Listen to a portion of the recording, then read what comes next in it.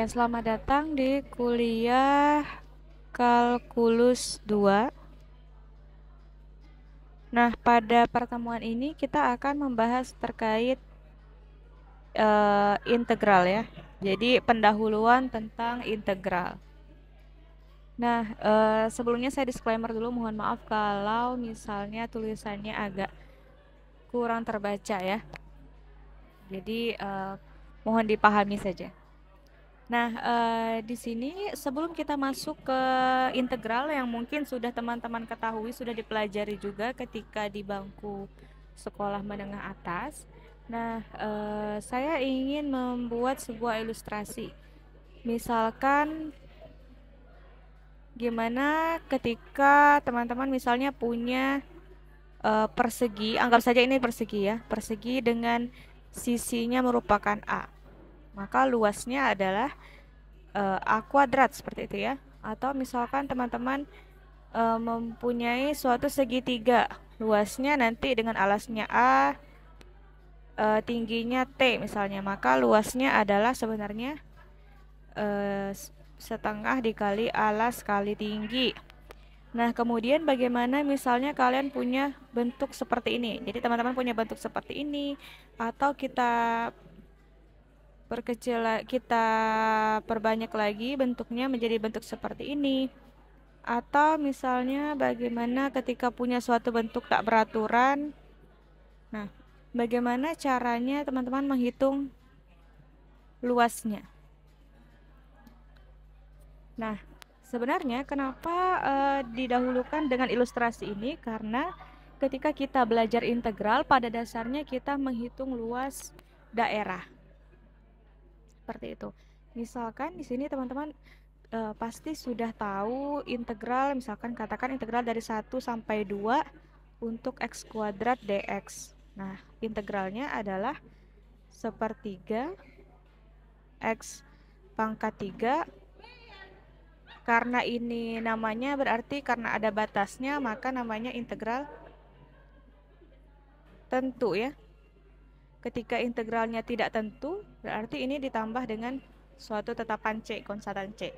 Nah, karena kita bermainnya di integral tentu, maka kita e, mudah saja tuliskan batasannya, maka kita dapat hasil integralnya adalah sepertiga 2 pangkat 3 dikurang 1 pangkat 3. Maka kita dapat sepertiga 8 dikurang 1. Atau 7 per 3. Nah, sebenarnya nilai 7 per 3 ini nilai apa sih sebenarnya? Apakah biasanya sebuah angka atau seperti apa? Nah, pada dasarnya 7 per 3 ini adalah luas daerah di bawah kurva X kuadrat dengan batasan ini adalah saya tuliskan jadi luas daerah di bawah X kuadrat dengan batasannya 1 dan 2. Contohnya maksudnya seperti ini. Jadi uh, atau kita main di yang lebih sederhana saja. Yang lebih sederhana misalkan contohnya adalah kita main yang di pangkat 1 aja. Integral dari 1 sampai 3 dari x dx misalnya. Ini kan berarti setengah x kuadrat 1 3 maka ini sama dengan setengah delapan eh salah ya. Uh, sorry sorry. Ini setengah dikali berarti 3 pangka 2 kurang 1 pangka 2 maka kita dapat setengah 9 kurang 1 maka dapatnya adalah 8 per 2 nah 8 per 2 maksudnya adalah jadi ini uh, kita punya koordinat dulu. Kita punya bidang kartesius. Ini X. Nah, maka ketika kita punya grafik uh, fx, artinya dia seperti ini ya. Ini sketsanya saja. Grafik uh, y sama dengan x, ya. Ini sumbu y. Nah, maka 1 dan 3 ini adalah 0, kemudian 1, kemudian 2 dan 3. Nah, kita beri batasan di sini berarti kita ganti warnanya saja menjadi warna hmm, warna ungu misalnya. Ini adalah untuk batasan 1 dan 3 ya. 1 dan 3. Nah, ini Nah, ternyata ini 8 per 2 sama dengan 4 ya. Ternyata luas ini adalah 4. Nah, kita cek. Uh, ini kan luasnya bangunnya masih gampang, jadi masih bisa kita cek atau kita perbesar di sini. Sebelumnya ini berarti proyeksinya adalah satu, ini juga proyeksinya adalah tiga. Kalau kita perbesar gambarnya, maka kita punya saya kita punya bangun seperti ini. Dengan ini berarti alasnya adalah dua, kemudian tinggi di sini adalah tiga, di sini satu, ya. Nah, bagaimana cara mencarinya? Berarti sederhana, cara berarti kita bagi menjadi dua bidang. Luas satunya adalah dua kali satu dua, kemudian luas duanya adalah setengah kali alasnya dua, tingginya tiga. Maka dapatnya tiga. Ternyata luasnya adalah sama dengan 5. Nah, kita balik lagi ke sini. Apakah ada yang salah atau enggak kira-kira? se integral dari 1 sampai 3 dari X adalah setengah X pangkat 2 kemudian 3 pangkat 29 dikurang 1 8 benar ya? Sekarang kita balik lagi ke sini. Oh salah ya. Ini yang salah ternyata. Ini berarti bukan 3 lagi ya. Kenapa bukan 3 karena 3 itu untuk keseluruhan sedangkan kalau luas 2 kan hanya berarti ini 1 Berarti ini sisanya 2. Berarti setengah dikali 2 dikali 2. Maka kita punya hasilnya adalah 2. Sehingga luas total yang merupakan penjumlahan dari luas 1 tambah luas 2 itu sama dengan 4. Nah, ini sama kan ya hasilnya. Jadi 4 dengan hasil integral luasnya sama ternyata. Nah, itulah kaidah dari penjumlahan eh, dari integral. Jadi dia merupakan luas di bawah kurva dengan batasannya adalah batas dari integral tentu itu sendiri. Nah, jadi e, konsepnya adalah e, me, merupakan luas di bawah kurva. Nah, sekarang kita kembali lagi tadi ini untuk bidang yang mudah ya, yang e, masih terjangkau lah istilahnya mencari bidang jumlahan dari dua buah bidang gitu. Nah, sekarang kita balik lagi ke contoh sebelumnya. Contoh sebelumnya ini adalah bidangnya adalah kurva x kuadrat. Nah, kalau kita gambarkan kurva x kuadrat itu misalkan kita punya kurva nah kita uh, kurva x kuadrat kalau kita sketsakan harusnya seperti ini ya. Anggap saja seperti ini. X kuadrat ini sumbu x. Nah kurva fx kuadrat ini kemudian tadi batasannya di berapa? Batasannya adalah 1 sampai 2 misalnya ya. Katakan 1 itu di sini 2 di sini maka kita diminta untuk menghitung integralnya integralnya berarti kita menghitung luas di bawah kurva ini Nah, bagaimana caranya? Sedangkan ini adalah kurva e, melengkung ya. Jadi kalau kita perbesar nih, kalau kita zoom, maka dapatnya adalah seperti ini. Nah, tantangannya adalah bagaimana caranya menghitungnya. Kalau dia bentuknya segitiga, maka akan lebih mudah. Nah, ada yang dikenal istilahnya adalah integral Riemann. Nah, integral Riemann konsepnya apa? Konsepnya adalah kalau kita perbesar lagi ya, gambar ini kita perbesar lagi. Jadi ini ya. Ini adalah proyeksi dari sini ya. Nah, ini sebenarnya adalah menjumlahkan eh, n bidang yang berada di bawah kurva n bidang persegi panjang yang ada di bawah kurva. Jadi kita bisa dekati nanti ini kan kur, uh, satu dua ya. Kita dekati dengan eh, bidang-bidang uh, persegi panjang seperti ini.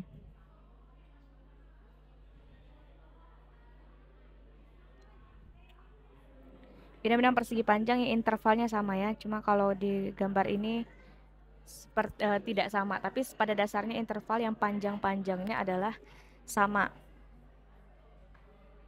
Nah karena berbicara jadi dipartisi menjadi n buah uh, persegi panjang. Atau n buah bidang gitu. Nah jadi ca, e, menghitung luasnya bagaimana? Menghitung luasnya adalah menjumlahkan saja. Misalkan ini bidang 1, L1, kemudian ini L2, maka kita jumlahkan L1 tambah L2 tambah Ln. Nah, maka nanti akan mendekati dengan hasil integralnya. Nah, kenapa dia di sini mendekati? Karena perhatikan bahwa kalau kita zoom lagi di sini, kita zoom lagi ya, kita ambil beberapa bidang saja. Misalnya tiga kotak ini kita zoom.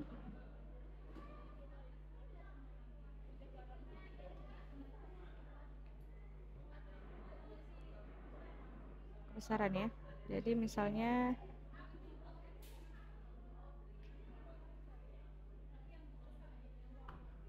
Nah, tiga kotak ini kita zoom maka akan ada bagian-bagian yang tidak terhitung.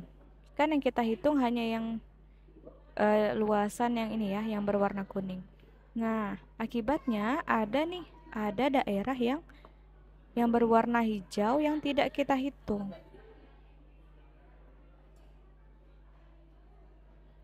Nah, maka namanya mendekati.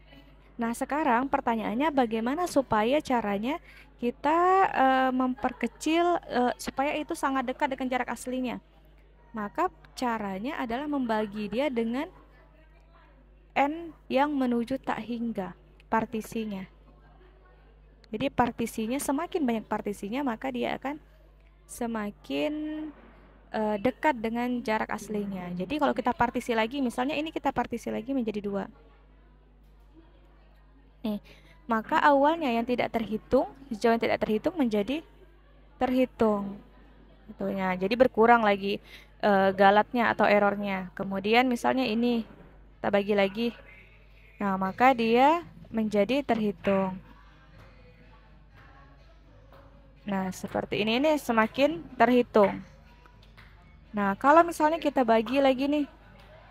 Kita bagi lagi misalnya menjadi beberapa uh, beberapa uh, bidang lagi. Kita bagi semakin kecil, maka dia akan semakin um, semakin mendekati uh, errornya.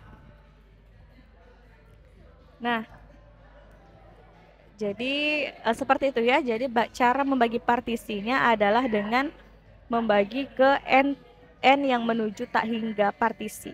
Nah, nantinya jumlahannya adalah jumlahannya merupakan uh, luas itu. Nah, karena kita berbicara tentang jumlah semakin ke kanan ya. Karena kita berbicara tentang jumlah saya jelas kita berbicara tentang jumlahan ya jumlahan. Maka kita berbicara dengan yang namanya sigma. Nah, ini teman-teman harus ingat sigma ya. Jadi ada sigma, ini sigma penjumlahan, ada juga sigma perkalian ya. Sigma I sama dengan 1 sampai N misalnya, ini I sama dengan 1 sampai N juga. Nah, yang kita pakai hanya ini saja, ini tidak kita pakai ya, sigma penjumlahan. Jadi, uh, diingat lagi ya uh, sigma. Sigma ini jadi sebelum kita masuk ke Riemann kita masuk lagi ke uh, tentang kaidah sigma, penjumlahan sigma. Sigma ini awalnya berasal dari barisan. Jadi kalau teman-teman sudah pernah belajar, saya yakin tentang suku barisan ada U1 tambah U2 sampai UN. Nah, ini sebenarnya sama dengan penjumlahan dari I sama dengan 1 sampai N dari UI. Jadi dia penjumlahan suku-sukunya. Contoh, contohnya sigma I sama dengan 1 sampai 4 dari XI. Maka ini sama dengan eh kita belum main ke indeks ya dari I misalnya. Maka ini adalah 1 ditambah 2 tambah 3 tambah 4 yang sama dengan 10. Nah, kemudian yang berikutnya misalkan kita punya I sama dengan 1 sampai 5 dari K misalnya. Nah, maka ini sama dengan berarti tadi ingat lagi konsepnya penjumlahan sebanyak n, penjumlahan sebanyak n. Ini penjumlahan sebanyak 4 suku. Nah, ini berarti penjumlahan sebanyak 5 suku dari K. Berarti ada K ditambah K ditambah K ditambah K ditambah K. Berarti sama dengan 5K. Seperti itu. Nah, sehingga kita punya sifat bahwa kalau misalnya kita punya misalkan uh, K merupakan konstanta merupakan konstanta maka kita punya sifat bahwa sigma i sama dengan 1 sampai n dari KCI misalnya sama dengan oh atau sebelum ke ada C ada indeksnya sama dengan K dikali N. Atau misalnya I sama dengan 1 sampai N K dikali CI misalnya maka sama dengan K dikali sigma I sama dengan 1 sampai N CI atau sifat sifat lanjutannya dia juga berlaku untuk misalnya eh, penjumlahan AI ditambah plus minus BI itu sama saja dengan uh, disigmakan dulu baru dijumlahkan gitu ya itu sifat-sifat dari Eh, sifat-sifat uh, dari sigma.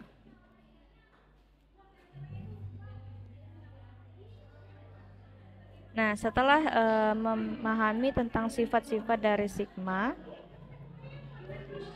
jadi misalkan nih, uh, kita kasih contoh dulu ya. Contohnya adalah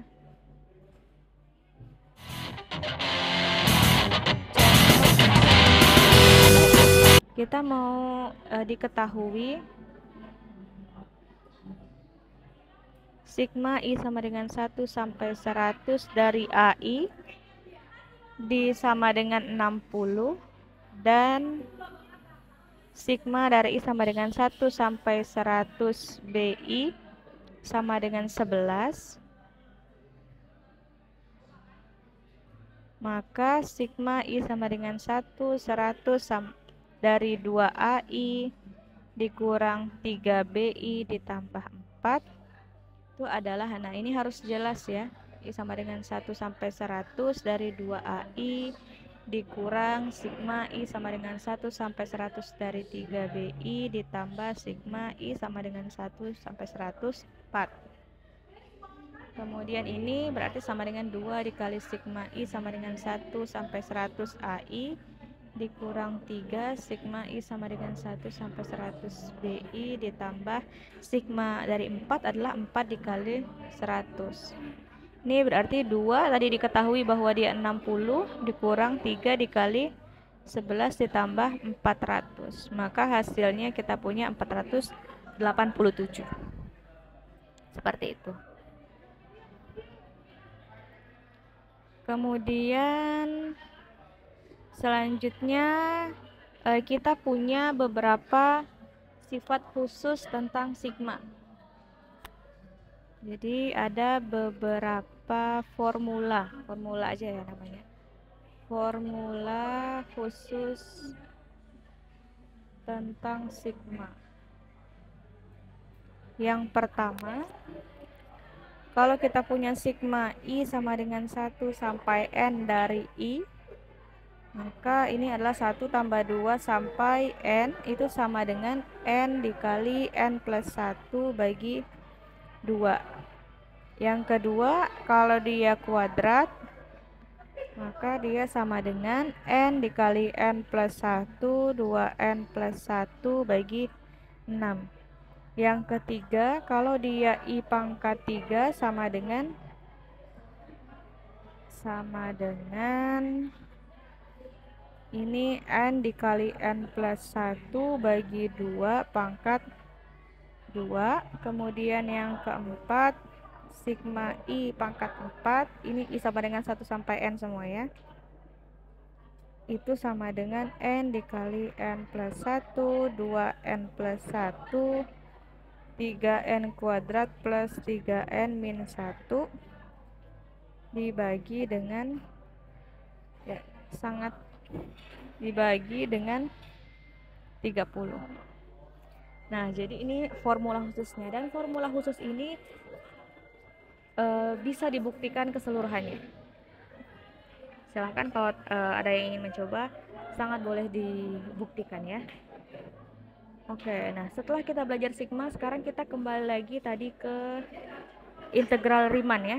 Dengan kita balik lagi tadi ke integral Riemann untuk yang x kuadrat. Yang x kuadrat, nah kita kembalikan lagi saja misalkan misalkan fungsinya e, integral dari 0 sampai 2 dari x kuadrat dx ya. Nah ini kita hitung dulu. Hasilnya berapa?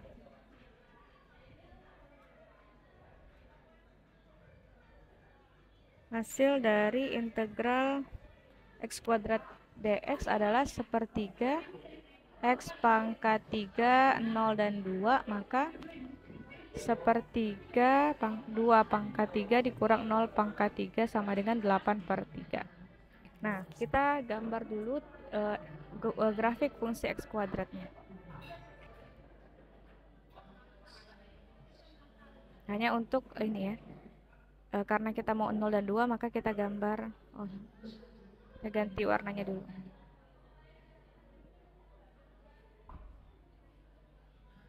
Nah, ini 0 katakan ini adalah 2.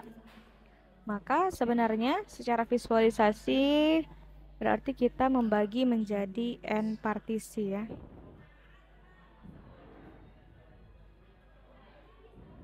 Dan seterusnya sampai sini katakan. Ini kita bagi menjadi n partisi. Hmm.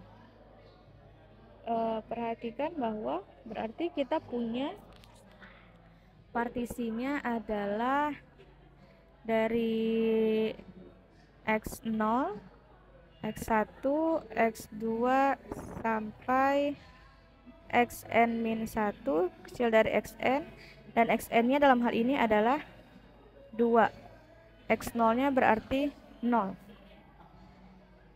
Nah, kita partisi di sebuah interval 0 sampai 2 interval tutup 0 sampai 2 kita partisi menjadi n interval maka kita punya panjang setiap intervalnya adalah delta x nya adalah delta x nya berarti perubahannya ya dari x0 ke x1 misalnya.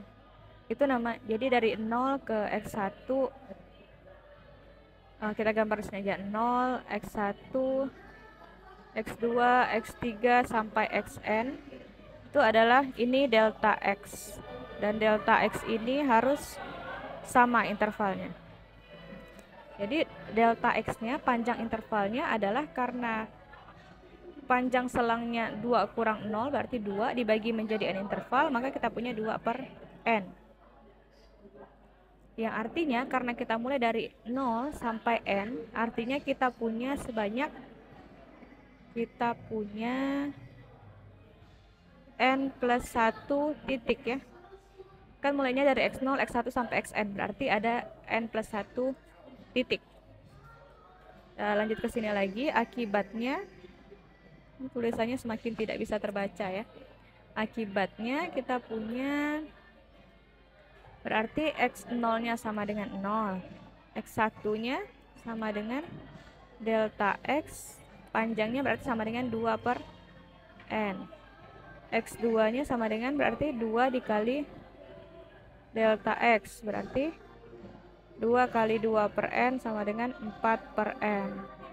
Sampai kalau kita punya XI maka I dikali delta X yang artinya 2I per n dan seterusnya kita punya sampai xn min 1 berarti ada n min 1 dikali delta x sama dengan n min 1 dikali 2 dibagi n.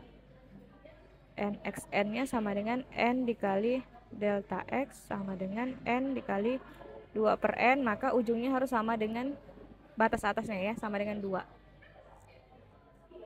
nah karena tadi um, konsepnya adalah menjumlahkan n bidang di bawah kurva, maka misalkan anggap ini sebagai luasan ini adalah dengan notasi ARN, R-nya Riemann ya.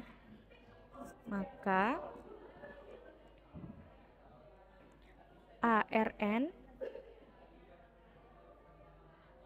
itu adalah perkalian antara jadi kan untuk menghitung ini artinya apa? Gimana caranya? Alasnya dikalikan tingginya. Nah, tingginya apa? Kalau di sini xn, maka di sini adalah f xn. Kalau di sini xn min 1 berarti ini f xn min 1. Kalau ini x0 berarti di sini f x0 ya. Sumbu y-nya. Maka ARN itu sebenarnya adalah perkalian antara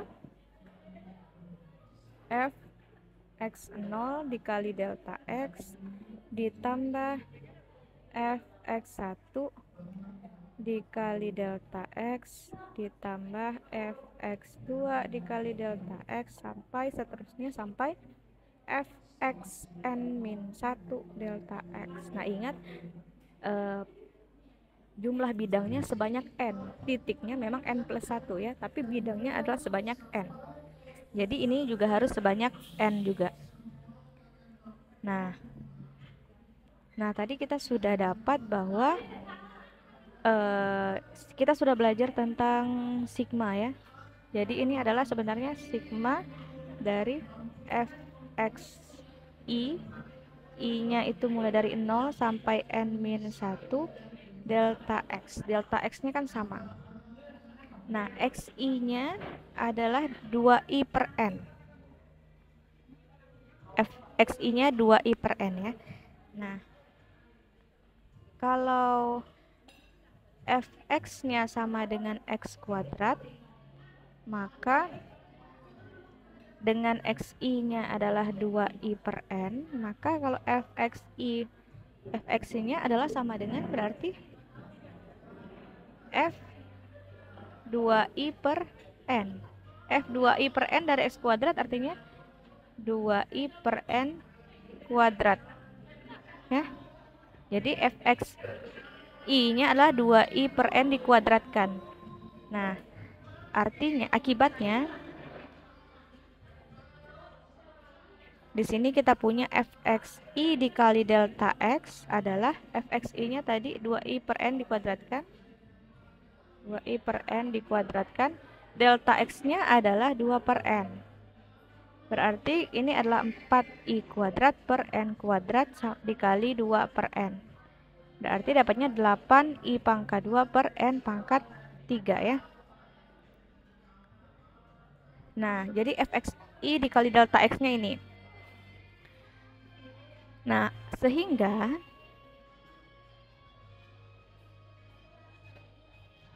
kalau kita ingin menghitung luasnya, berarti tadi kan ARN-nya adalah ARN-nya adalah sigma i sama dengan 1 sampai n dari fxi dikali delta x dikali 8i kuadrat per n pangkat 3 di pangkat 2 ya ini.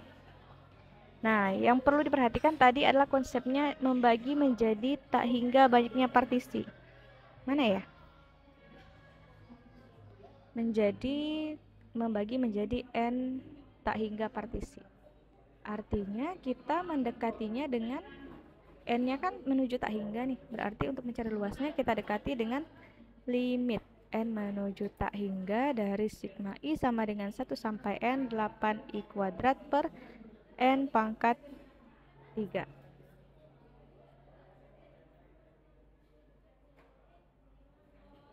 Nah, ini limit tak hingga dari 8i kuadrat per n pangkat 3 adalah hasilnya 8 per 3 ya. Jadi limit tak hingga dari uh, kalau ini misalnya kita jabarkan sajalah nih ini sama dengan limit n menuju tak hingga dari sigma. Ini kan uh, yang indeksnya adalah i ya. Jadi 8 per n pangkat 3 nya boleh kita pindahkan 8 per n pangkat 3 dari sigma i sama dengan 1 sampai n i kuadrat. Benar ya? Ini sama dengan 8, 8 uh, limit.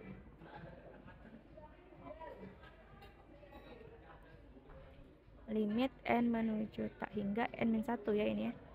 Ini n-1 n menuju tak hingga dari 8 per n pangkat 3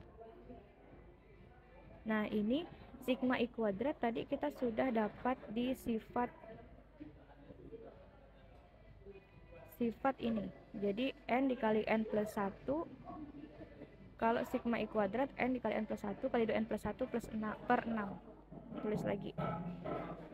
Kita tulis di sini. Ingat. Ingat sigma i sama dengan 1 sampai n dari i kuadrat adalah n plus 1 dikali apa ya tadi? Plus 1 dikali n dikali n plus 1 dikali 2n plus 1 bagi 6 n dikali n plus 1 dikali 2n plus 1 bagi 6 nah sekarang kita ingin mencari kalau uh, sigma i sama dengan kalau kita ingin mencari ini. Nah kalau dia sampai n n maka hasilnya ini tapi kalau udah sampai n-1 artinya kita ganti n nya menjadi n-1 akibatnya kita dapat di sini berarti n-1 dikali n dikali 2 kalau dikali n jadi diganti jadi n min 1 berarti kan 2 dikali n min 1 plus 1 jadinya 2 n min 2 plus 1 jadinya 2 n min 1 ya. Jadi sama langsung aja 2 n min 1 dibagi dengan 6 tetap.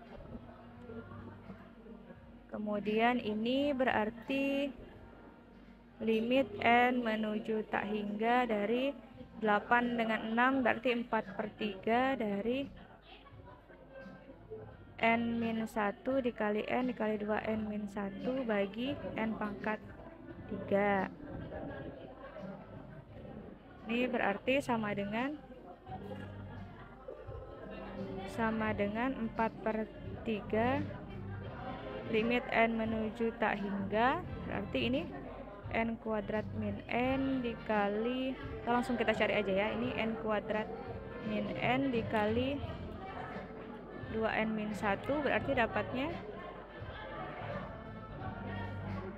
2n pangkat 3 dikurang 3n kuadrat kurang n ya dibagi n pangkat 3 maka limit tak hingga dari ini adalah 2 sehingga ini dapatnya hasilnya adalah 8 per 3 ya. Jadi kalau tadi cepat saja langsung dapat 8 per 3 jadi hasilnya sama dengan 8 per 3 dan hasil 8 per 3 ini adalah luas daerah di bawah kurva dan ternyata sama dengan ketika kita mencari integral nah jadi balik lagi konsepnya adalah mencari uh, luas daerah di bawah kurva.